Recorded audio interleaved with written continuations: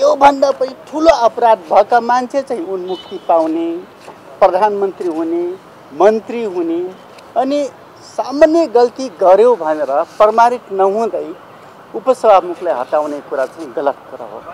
प्रतिपक्षका बेन्चबाट उहाँहरूले फायर खोल्ने काम गर्नुभयो सत्ता पक्षलाई उत्तेजित बनाउने हिलो छ्याप्ने जे प्रयत्न गर्नुभयो यसपछि अब हामी हाउस सकेपछि यसका बारेमा यो हामीलाई किन आरोप लगाइयो? हामीलाई किन हिलो छ्याप्ने काम भयो? संसदमा एउटा सांसदले कोही उपसभामुखको बारेमा उहाँको पद अनुकूलको आचरण नगरेको बारेमा प्रश्न उठाउने बित्तिकै यस प्रकारले सरकारलाई हिलो छ्याप्न मिल्छ। सरकारसँग जोडेको विषय नै होइन यो। फेरि पनि भन्न चाहन्छु। बिना नै बोल्नु हो म यति भन्छु यो सरकारसँग जोडिएको विषय होइन। फेरि पनि भन्न चाहन्छु सरकारसँग जोडिएको विषय होइन। सरकारका नेतृत्वले हामीलाई कुनै निर्देशन दिनुभएको छैन। कुनै निर्णय भएको छैन। संसदको विषय हो। संसदमा उठ्यो। अब हामी यहीँबाट यहीँबाट यो विषयमा किनभने हामी छलफल अहिले त बैठकमा छौँ। यहीँबाट यसका बारेमा के हो भन्ने कुरा हामी छलफल गर्छौँ। अहिले त एउटा उपसभामुखलाई सङ्ख्याका आधारमा हामीसँग बल पुग्छ भनेर हटाउने भन्ने कुरा होला।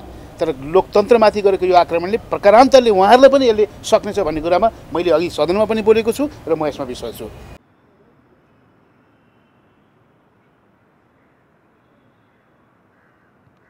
लोकतन्त्रमा सत्ता समीकरण हुन्छ शक्तिको हेरफेर हुन्छ।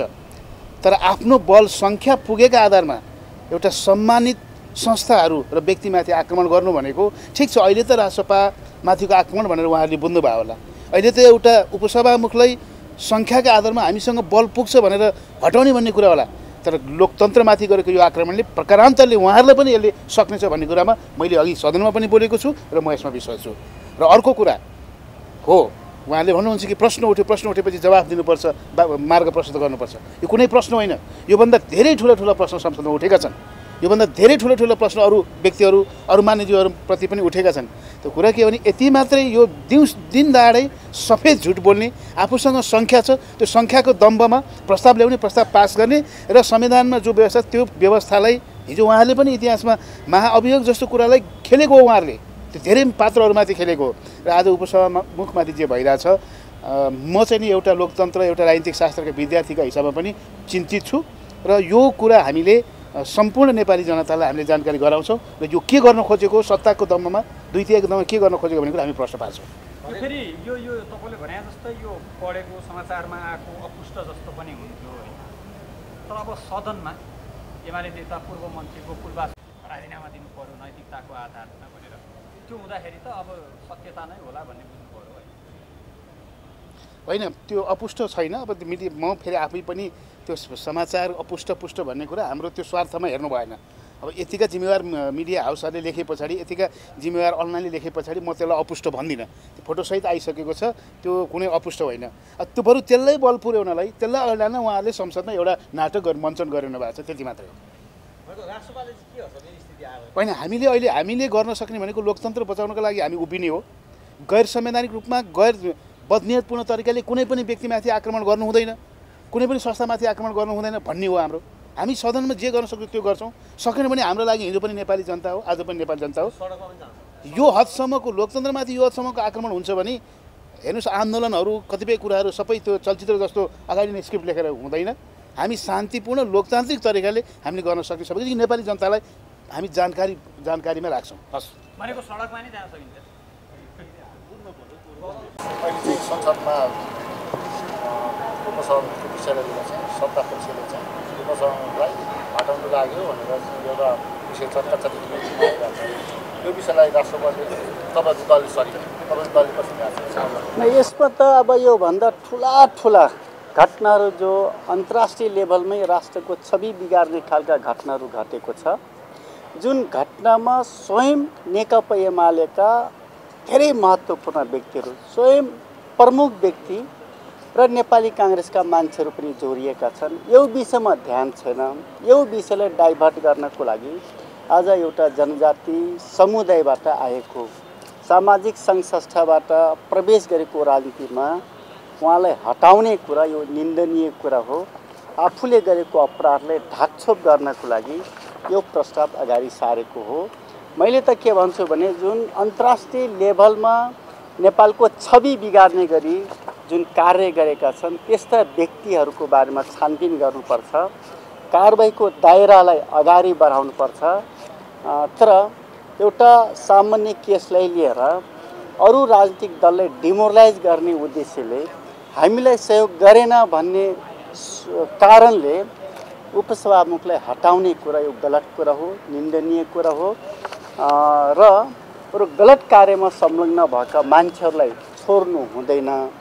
तर योभन्दा पनि ठुलो अपराध भएका मान्छे चाहिँ उन्मुक्ति पाउने प्रधानमन्त्री हुने मन्त्री हुने अनि सामान्य गल्ती गर्यो भनेर प्रमाणित नहुँदै उपसभामुखलाई हटाउने कुरा चाहिँ गलत कुरा हो।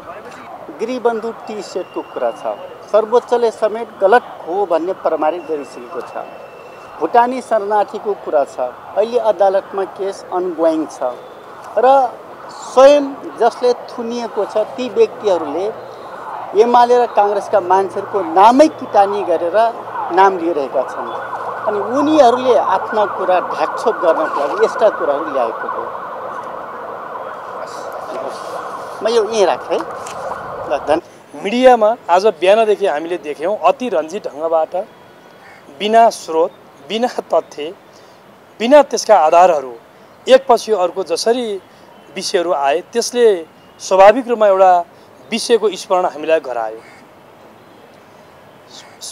मान्य उपसभामुख ज्यूसँग जोडिएको घटना यो संसदको विषय हो। संसदमा उठेका विषय हुन्। सरकारले बनाइएको सरकारद्वारा सिर्जित भएको समस्या होइन विषय होइन। पहिलो कुरा यहाँहरूले यो बुझिदिनु पऱ्यो सिङ्गो देशले यो बुझिदिनु पऱ्यो संसदको मान्य उपसभामुखज्यूले अन्तर्राष्ट्रिय एउटा कुनै कार्यक्रममा अमेरिका जाने प्रक्रियामा संसदसँग असम्बन्धित अनधिकृत व्यक्तिहरूलाई कार्यक्रमको प्रकृतिसँग पनि नसुहाउने महिलाको कार्यक्रममा पुरुषहरू चारजनालाई र अरू केही।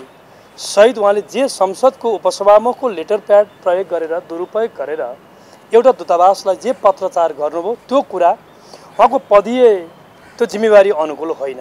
पदीय त्यो पद अनुकूलको आचरण अनुकूलको जिम्मेवारी भित्र बसेर गर्ने काम होइन त्यो कुरा बेठिक बेठिक भन्ने कुरा संसदमा उठ्यो। त्यति मात्रै होइन संसदको सभामुख होस् वा उपसभामुख होस् वा पदाधिकारी किन्न होस्। अन्तर्राष्ट्रिय क्षेत्रमा एउटा संसदको पदाधिकारीले कुन प्रकारको भूमिका कुन प्रकारको व्यवहार प्रदर्शन गर्छ त्यसका आधारबाट यो संसदको गरिमा जोगिने होइन यो संसदको मर्यादा त्योसँग जोडिँदैन। त्यस कारणले गर्दा अन्तर्राष्ट्रिय एउटा छवि समेत उहाँले प्रस्तुत गरेको उहाँले पेस गरेको एउटा एमएससीसँग भिसा माग्नका लागि पत्रचार गरेको व्यवहारबाट अन्तर्राष्ट्रिय क्षेत्रमा पनि नेपालको संसदको पदाधिकारीको हैसियत के हो भन्ने कुरा जसरी उजागर हुने र त्यसले गर्दा यो संसदको मर्यादामाथि हुर्मत दिने काम गरेको पनि यो तथ्य हो। यो मेरो तर्क होइन। यो तथ्य हो। त्यस कारणले गर्दा यी सबै कुराहरू बेठिक हुन् बेठिक भएका छन्। यी बेठिक भएका कुरा हिजो पनि उठ्यो। उहाँले यी सबै कुरा उठिरहँदाखेरि संसदको मात्र बिज- बिजनेस त बनेन यो विषय बनेन। यो त सार्वजनिक मिडियाको विषय बनाउनु भयो अब त हामीलाई के भयो भने तपाईँहरूले न्युज लेख्न थाल्नुभयो आजदेखि। तपाईँहरूले न्युज बढ बजाउन थाल्नुभयो।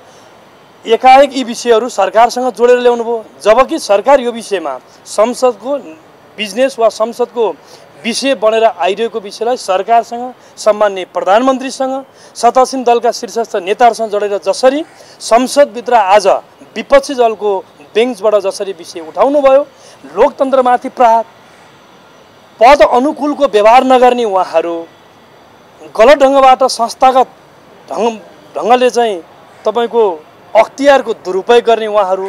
अनि त्यसका बारेमा एउटा सांसदले संसदमा विषय उठाए बापत लोकतन्त्रमाथि सरकारले हमला गर्यो भनेर संसदबाट एउटा कुनै अमुक दलका प्रमुख सचेतक तहको जिम्मेवारीमा बसेका मान्छेले लोकतन्त्रको दुवाई दिएर लोकतन्त्रको पाठ सिकाउन खोज्ने काम आजको बैठकमा गर्नुभयो। त्यसले हामीलाई झन् गम्भीर बनायो। यो विषय अब अध्ययनको विषय हुन्छ।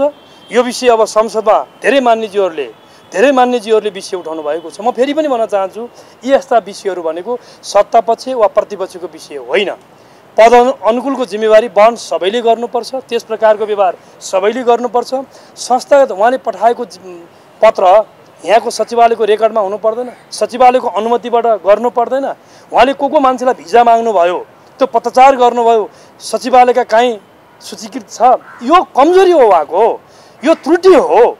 यी यस्ता विषय उठेपछि अब मार्ग प्रशस्त गर्ने कुरा उहाँ स्वयंको कुरा हो। हामीले कुनै जल बल जफ्ती गरेका छैनौँ सुन्नुहोस् है। बल जफ्ती गरेका छैनौँ। हामीले कुनै व्यक्तित्वमा आग्रह पूर्वाग्रह छैन। म यति भन्न चाहन्छु आज उहाँहरूले विपक्षी दलले नै एक प्रकारले भन्ने हो भने एकातिर उहाँको पक्षमा बोलेको जस्तो गरेर परिस्थितिलाई भड्काएर सत्ता पक्षलाई अनावश्यक ढङ्गले उत्तेजित पार्नका लागि उहाँले प्रयत्न गर्नुभयो आज संसदको बैठकमा। जबकि यो विषय त्यस हिसाबले उठेको होइन। सत्ता पक्षलाई सत्ता पक्षलाई उत्तेजित गर्ने गरी सरकारले लोकतन्त्रलाई समाप्त पार्न खोज्यो भन्ने गरी ए उहाँहरूले कसैलाई आरोप लगाउँदाखेरि हुने। तपाईँलाई भनौँ यो विषय आज कम उठेको छ। मैले यहाँ उठाउनु मलाई मन थिएन। हिजो एकजना सांसदले संसदभित्र कसैको व्यक्तिगत जीवनभित्र प्रवेश गरेर फर्जी डिभोर्ससम्म कुरा गर्नुभयो। यो दुनियाँमा नेपाली समाजमा के डिभोर्स तपाईँले फर्जी डिभोर्स भन्ने काहीँ सुन्नुभएको थियो? फर्जी सम्बन्ध विच्छेद फर्जी विवाह भन्ने सुन्नुभएको छ? कानुन बमोजिम विवाह हुन्छ। दर्ता गरेपछि कानुन बमोजिम विवाह भयो। डिभोर्स पनि कानुन बमोजिम। यदि डिभोर्स भएको हो भने त कानुन बमोजिम भयो होला नि। मैले मैले मैले भन्न खोजेँ त्यहाँ जोड्न खोजेँ होइन कि प्रसङ्ग। मैले मैले म यति भन्न खोजेको मैले के प्रसङ्ग जोड्न खोजेको भने जे पनि आरोप संसदबाट एउटा सांसदले जे पनि विषय जसरी पनि उठाउने कुरा शोभनीय भएन। रचनात्मक र सृजनात्मक ढङ्गबाट संसदलाई बहस गरौँ। यसलाई त्यस हिसाबको एउटा चाहिँ सृजनात्मक कन्स्ट्रक्टिभ डिबेटको एउटा चाहिँ मञ्च संसदलाई बनाऊ। हामी त्यो चाहन्छौँ। र आज विषय जसरी उठेको छ हामीले छलफल गरेका छैनौँ। सरकारलाई जबरजस्ती सरकार पक्षलाई जबरजस्ती हिलो छ्याप्ने गरी यो विषयमा उहाँहरूले जोड्नु भएको छ। म यति भन्न चाहन्छु अब यो विषयमा। होइन उहाँको यस्ता कतिपय विषयहरू म यति भन्न चाहन्छु यस्ता विषय उठेपछि संसदको मर्यादालाई गरिमालाई कायम राख्न पर्ने जिम्मेवारीमा रहेको व्यक्तिबाटै यस प्रकारको कमजोरी भएको प्रश्न जब उठ्छ नि त्यति बेला जबरजस्ती राजीनामा देऊ कसैले भन्यो भनेनौँ। हामीले के भन्यौँ भने तपाईँले यो विषयमा जवाफदेही भन्नुहोस्। आज नै विषय बन्यो। योभन्दा पहिला पनि यो विषय बन्यो। आज पनि सायद विषय म तपाईँलाई यति भन्न चाहन्छु। सायद आज आज प्रमुख प्रतिपक्षको बेन्चबाट प्रतिपक्षको बेन्चबाट उपसभामुखज्यूको विषय नआएको हुन्थ्यो भने यो प्रसङ्ग अनावश्यक ढङ्गले संसदमा उहाँले नउछिलेको हुन्थ्यो भने सत्तापक्षको बेन्चबाट यसको हामी कुनै प्रतिक्रिया दिँदैनथ्यौँ। र यो प्रसङ्ग तपाईँहरूले बुझ्नुहोस् फेरि यो महाभियोगको विषय हुँदैन। फेरि म मिडियाका साथीहरूलाई भन्न चाहन्छु उपसभामुखमाथि कसैले महाभियोग लगाउने भन्ने कुनै कानुनी र संवैधानिक प्रबन्धहरू छैन। महाभियोग भन्ने प्रसङ्गै हुँदैन। पद अनुकूलको व्यवहार गर्नुभयो भएन त्यसका बारेमा प्रश्न सृजना हुन्छ त्यसका बारेमा निर्णय संसद स्वयंले गर्छ। त्यस त्यस कारणले यो संवैधानिक प्रबन्धहरू हुन्। सङ्ख्या निर्णय गर्दै गर्दाखेरि दुई तिहाईको मतबाट त्यो म प्रक्रिया बताउँदैछु। मैले यसको प्रक्रिया तपाईँले महाभियोग महाभियोग भनिरहेको कारणले तपाईँहरूलाई पनि त सच्याइ दिन पऱ्यो तपाईँहरू जस्तो एउटा चाहिँ समाजका योग्य व्यक्तित्वहरूलाई यो महाअभियोग अभियोग भन्ने कुरा चाहिँ उपसभामुख वा उपाध्यक्षको हकमा लागु हुँदैन। पदअनुकूलको व्यवहार आचरण गर्नुभयो भएन भन्ने प्रसङ्गसँग यो विषय हुन्छ। त्यसो भएमा पदअनुकूलको व्यवहार गर्नु भएन भन्ने यदि हाउसलाई लाग्यो भने दुई तिहाईले भन्छ। त्यसमा एक प्रकारले भने होइ पनि लाग्दैन यो सबै मान्यज्यूहरूले आफ्नो मत जाहेर गर्ने कुरा हो।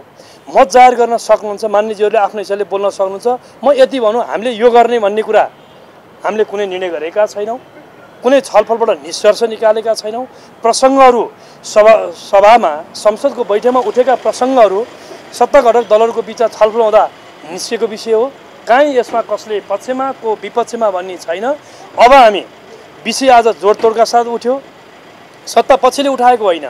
तपाईँहरूको लोकप्रिय मिडिया मार्फत जाओस्। सत्ता पक्षको तर्फबाट कुनै तयारी छैन कुनै निर्णय थिएन कुनै निष्कर्ष दिएन। प्रतिपक्षका बेन्चबाट उहाँहरूले फायर खोल्ने काम गर्नुभयो। सत्ता पक्षलाई उत्तेजित बनाउने हिलो छ्याप्ने जे प्रयत्न गर्नुभयो यसपछि अब हामी हाउस सकेपछि यसका बारेमा यो हामीलाई किन आरोप लगाइयो?